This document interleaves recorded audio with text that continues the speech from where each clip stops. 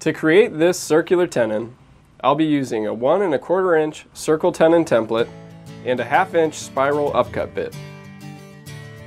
For my material, I have a one and three quarter inch square piece of stock with the center line marked on one face. And a quarter inch shoulder marked all the way around on the end grain just for demonstration purposes. Begin by installing the template on the multi-router.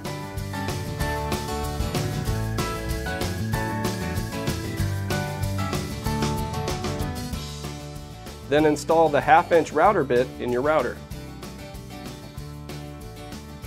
And adjust the router's depth of cut to match your planned tenon length. Next, set the in-feed stop on the horizontal table so that the bit can't crash into the template. Align the two tables center to center by placing the stylus in the notch on the template, and then lock the horizontal table's left to right position in place. The vertical and horizontal table are now perfectly centered. Now, raise the vertical table and retract the position of the stylus. Align the center mark on your workpiece with the center mark on the vertical table and clamp it down. Then, lower the vertical table until the bit just kisses the top of the workpiece. Adjust the ruler until the indicator aligns with any quarter inch measurement on the ruler. I've set mine to 1 and 3 quarter inch. Next, slide the horizontal table out so the bit can clear your workpiece. While reading the ruler, move the vertical table down a quarter inch from 1 and 3 quarter to 1 and a half inches and lock it in place.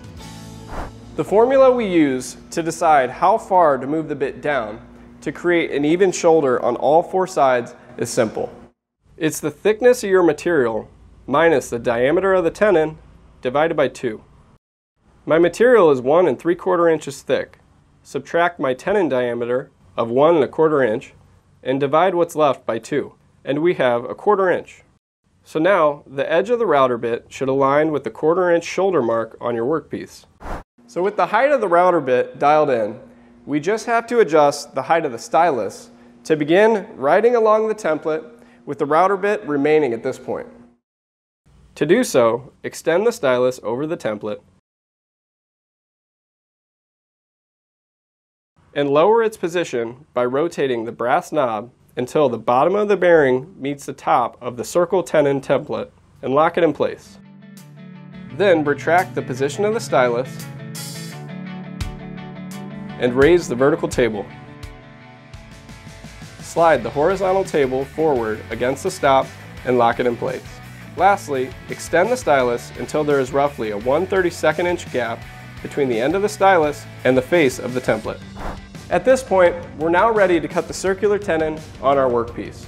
The last thing that you want to consider is if you're cutting multiple pieces of the same dimension, then you might want to add a scrap piece to act as your fence to speed up production time.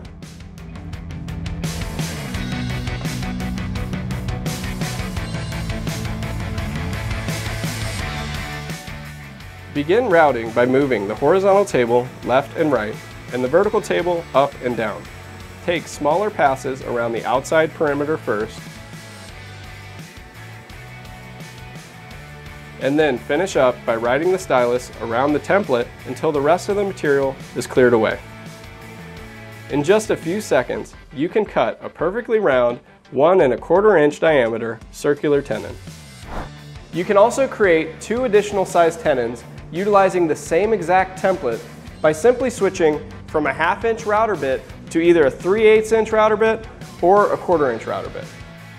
Using a 3 8 inch bit with the 1 and a quarter inch template will produce a 1 and 3 8 inch diameter tenon.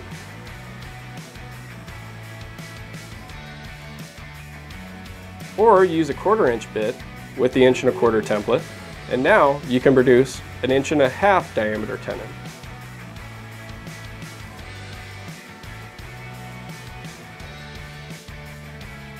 With four different circle tenon templates and three different router bits that can be used with each template, you can create nine different perfectly round tenons.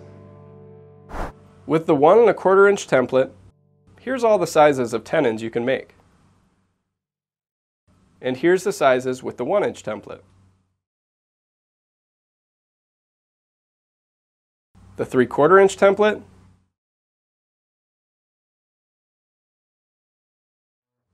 and the half inch template.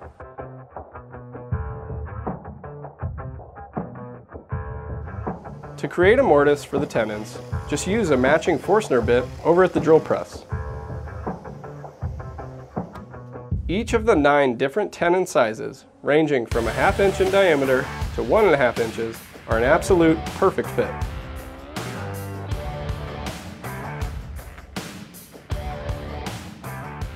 The multi-router is a versatile joinery machine that will unlock your ability to create complex joinery quickly and accurately. If you're interested in learning what else the multi-router can do, then we have a playlist right here for you to check out.